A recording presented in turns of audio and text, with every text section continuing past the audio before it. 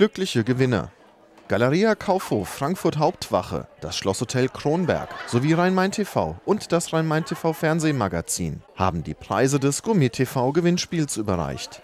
Die Kochshow mit Küchenchef Oliver Preding lief im vergangenen Jahr 26 Wochen auf Rhein-Main TV. Wir wollten mit dieser Kooperation einfach zeigen, dass man mit unseren Produkten auf ähm, ja, Weltstadtniveau kochen kann, dass auch Herr Preding aus dem äh, Schlosshotel Kronberg diese Produkte verwendet und ähm, ja, wir wollten den Kunden natürlich auch unterhalten, aber auch so an die äh, hochwertigen Produkte äh, mit besonders toller Qualität heranführen.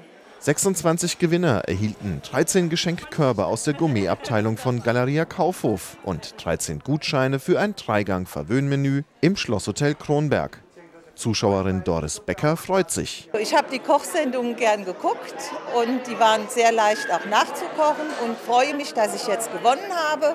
Und wenn mein Mann brav ist, darf er mit äh, ins Schlosshotel Kronberg äh, zum Essen.